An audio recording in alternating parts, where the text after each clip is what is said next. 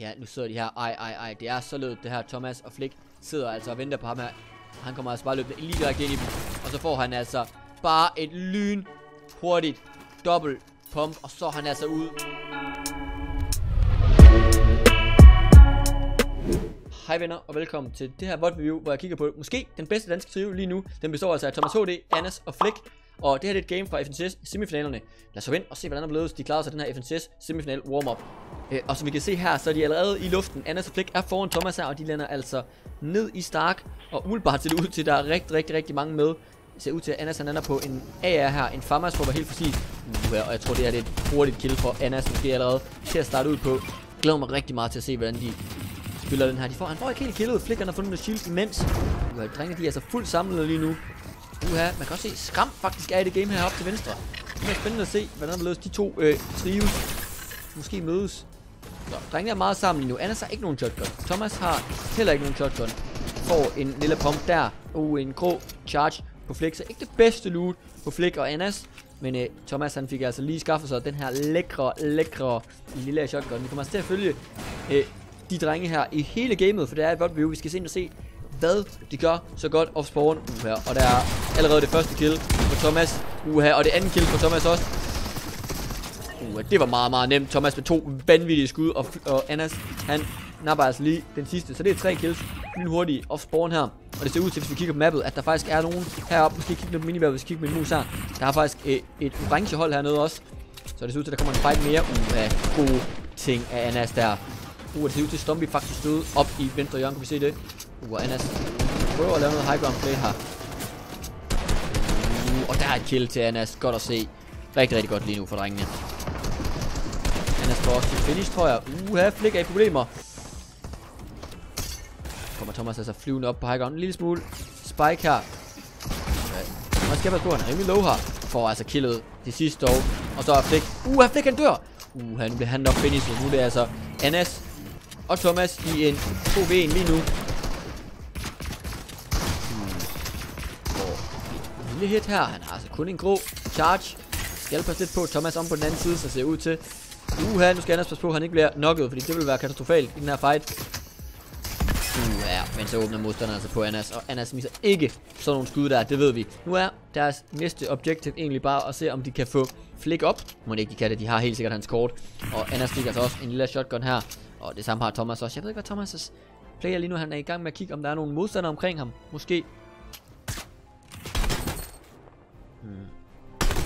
Nu er der 68 i live, så første Storm Surge bliver ikke aktuel her. Det her det er en af deres første øh, games i semifinalerne. Man skulle have omkring 132-33 point for at gå videre. Lige nu er de på 40, så jeg glæder mig meget til at se, hvordan der bliver de spiller den her. Om det bliver aggressivitet, øh, som vi plejer at se fra Anas, Fik og Thomas, eller om det bliver mere noget øh, mere passivt øh, placement-orienteret. Kommer de til at gå fra high ground late game, som vi har set dem gøre så tit, eller bliver det meget mere low ground?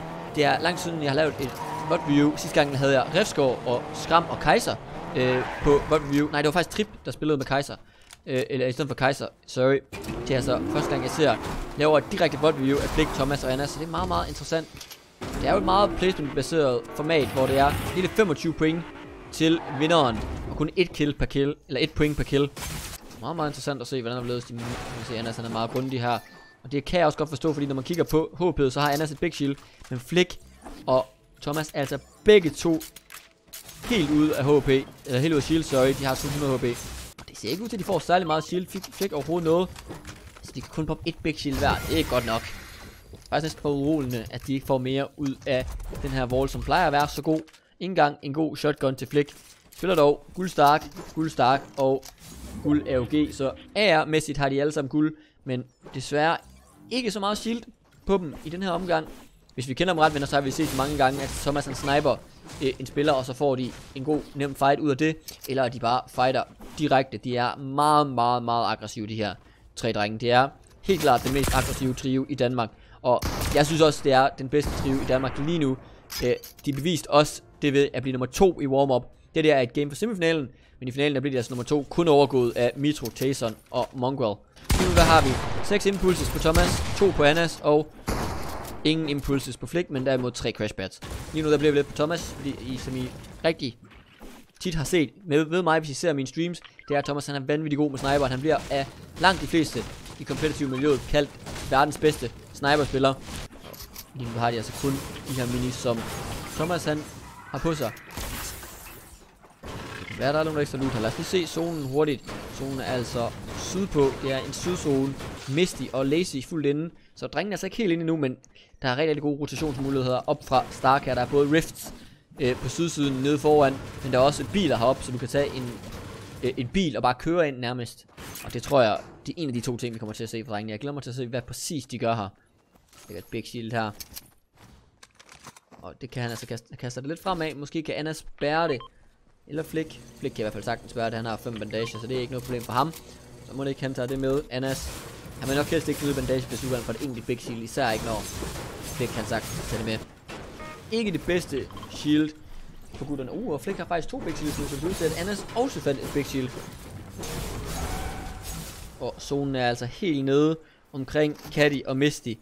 De vil nok gerne bare den her vej ind alligevel i zonen, så selv hvis de ikke får ud af det her, så er det stadigvæk den rigtige vej at rotere. Så på den måde er de nok ikke så utilfredse med situationen lige pt. Ja, du kan se, Thomas han lurer på den, som han, som han så tit gør. Lige bag sig har han altså Big og Anas ikke umiddelbart nogen chance for et snipe endnu. Uh, han viser sygt. Rammer en enkelt gang bagefter med stakriflen, som skader rigtig, rigtig meget der. Nu er modstanderen i hvert fald klar over, at de skal passe på sniperen her, og det er også Flick er herovre og forsøger at få noget damage. Det er ikke det allermest stack game i forhold til Storm Surge, så skal ikke tænke på damage overhovedet, også især efter de har fået 6 kills of, of Sworn i Stark. Hvis du skyder på folk, så er der øh, nogle gange tendens til, at de løber væk fra, de, fra der, hvor du er øh, på mappet. Du kan se, at drengene de, øh, var her, og de fik altså dem der skudt væk herfra. Det vil sige, at i stedet for at løbe den her vej ned, så løb modstanderen altså ned igennem retailer. Det vil sige, at drengene har åbnet en lille vej her for dem selv, hvor de måske kan løbe lidt øh, mere frit ind. Så tanken er, hvis sådan noget her det lykkes, det er ikke altid, det gør det selvfølgelig, men det lykkes rigtig fint her, det er, at du kan skabe og beholde map-kontrol, altså kontrol over den side af mappet, hvor du er. Og det her det er en rigtig, rigtig fin lille detalje, man kan bruge en gang imellem. tæt på en sniper der igen. Rammer dog et skud mere. Og det er igen for at presse modstanderen væk. De, skal, de markerer sig, Thomas, Flick og Anas, de markerer, at de er her. Og det kan være med til, at modstanderen derop ikke tør at løbe hernede af. Og drengene derfor kan rotere lidt mere frit og lidt mere øh, sikkert. Spørgsmålet er, om de gerne vil op på en af bakkerne, eller de er fint nok med at sidde nede i dalen her. Det er ud til, at drengene er begyndt at svømme heroppe. Vi kan se dem lige på kanten af minivappet her. Og Anna svømmer egentlig bare videre ned. Og som jeg vidste før, så er zonen altså således, så de drengene kan sætte sig lige i midten. Men det der er ved at sætte sig ned i midten her, venner, det er, at hvis zonen den ikke puller ned omkring dem, så skal de altså lige meget hvad over et bjerg. Så hvis de ikke får næste zone eller næste zone igen, så skal de altså op over et bjerg. Jeg glæder mig meget til at se, hvad de gør her. Om de måske zoomer hele vejen ned på død side og ned til øen hernede. Hvis de gør det, så har de en lidt nemmere vej op her. Eller op her, hvis de skal op på en af de store bakker. Og lige nu ser det meget, meget nemt ud for Anas at svømme. Lad os se om Flick og Thomas har det på samme måde. Udbart ser det ud til, at der er nogle problemer med at svømme, og det er, det er selvfølgelig meget, meget interessant. Og lad os se, zonen viser sig lige om lidt, og drengene de er altså svømmet stort set hele vejen ned. Andersen laver lige et pitstop her, fordi han gerne vil have drengene med sig ud til, og så overhælder de ham. Og zonen er altså centralt ovenpå dem. Som jeg snakkede om, var det rigtig interessant, om de fik zonen eller ej, og det viste så, at de havde lavet det rigtige gamble her, og så var hele vejen ned til øen her. Nu er de altså en af de eneste hold på øen. Udover den her lille underlige fight hernede. Og vi kan altså se fra vores synspunkt lige nu, at modstanderen er relativt low. Drengene er i en god position. Der er ikke mange hold rundt om dem, fordi de er på den døde side. I kan se, langt de fleste af holdene er altså op over den her linje, jeg laver lige nu. Og så er der kun det ene hold hernede, der lige har vundet en fight. Og så vores danske drenge. Uha, jeg tror faktisk, det her, det var en af de ting, vi så på stream den anden dag. Hurtigt klip. Ja, nu sidder de her. Ej, ej, ej. Det er så lød det her. Thomas og Flick sidder altså og venter på ham her. Han kommer altså bare løbende lige direkte ind i dem. Og så får han altså bare et lyn hurtigt dobbelt pump. Og så er han altså ude. Flick og Thomas giver sig selv et gratis refill. Måske lidt flere mats, lidt mere shield. Og et enkelt point. Meget, meget, meget god lille fælde at sætte op der. Og det er noget, som langt de fleste spillere kan sætte op, hvis de lige lærer, hvordan man gør, øh, hvilke tidspunkter. Fordi det der med, hvordan man gør, er jo faktisk det store. Det er egentlig bare at gemme sig gode steder. Det sværeste ved det er at gøre det på de rigtige tidspunkter. Og det der, det var ikke øh, øh rocket science, som man siger. Det der, det var bare et vel eksekveret tidspunkt at sætte sig bag en væg. slår der altså en gratis spiller ind i, og så får de gratis penge. Det er altså noget langt de fleste øh, på alle niveauer kan øh, sætte op de her fælder. Rigtig, rigtig godt lavet af Flick og Thomas. Og Anders var ikke engang tæt på, så du kunne også godt gøre det to mand eller en mand i solo. Det er et rigtig, rigtig godt trick til alle, der gerne vil se, om vi kan få lidt flere kill points i øh, de forskellige øh, FNCS eller turneringer i Fortnite. Aggressive på airdrop og se om, hvad de får her. Og det er stadigvæk shield, tror jeg, og de godt kunne bruge. Et big shield, 6 minis af hvad de har. Du har flere minis her. Uh, en guldskar. Den vil Flick gerne have over Stark. I hvert fald ser det ud til, at nu har han altså også lidt mere shield med. Lad os lige se zonen. Så øh, relativt centralt. Men endnu en gang, venner. Hvis den går op på bakkerne, så er de altså ikke i den bedste position. Den kan sagtens spille herop. Eller herop. Og så er det meget, meget øh, akavet, hvis vi skal til op bakkerne, når vi kommer til 50-50 lige om lidt. Vi har altså 53 spillere i live. Vi ser på Anders lige nu, der ikke laver det helt store. De sidder egentlig bare og venter. Jeg tror lige nu, der snakker de måske plan. De får samlet hovedet. Hvad er det, de gerne vil her? De har masser af kills. Jeg skal ikke tænke på Stormsøgt. Det eneste, jeg skal tænke på, det er at gøre det godt her. Og zonen spiller altså herop, som vi snakkede om. Og drengene kan altså bevæge sig lige ind her. Og så er de indenfor. Problemet med at gøre det, det er, at hvis zonen spiller op af bakken her, så kommer det til at være meget, meget, meget svært for dem at komme op af, hvis 50-50 ender herop. Så skal de altså op på noget af et, en bjergbestigning. Men det ser ud til, at drengene alligevel laver det her gamble og bliver nede i vandet. Kigger lidt på flæk her. Uha. Lige et enkelt lille tag her. Meget, meget klinisk indtil videre for drengene. Nemme, eller ikke nemme, men hurtige, stærke rotationer ind imod midten af mappet. Finder nemme kills. Så selvfølgelig at være gode over sporen, så lige nu kan man godt se, hvorfor de er den højst rangerede danske trio lige nu. Uha, her ser de altså en mulighed for endnu et kill. De, nok, de nok er ikke nogen, men jeg tror, de, ramte ham over 100, den ene af dem, men han kommer altså hurtigt væk, og det er endnu en gang sindssygt øh, awareness for drengene her. De skaber altså et play ud af ingenting her. De ser, der står nogen på en træ, øh, eller i en træ base med, med træ floor, og så skyder de ham altså ned og rammer ham en god slat. Hvis ham der han har været low, så har det været et gratis kill. Og det er nogle af de ting, som de rigtig, rigtig gode trives, de hele tiden søger på.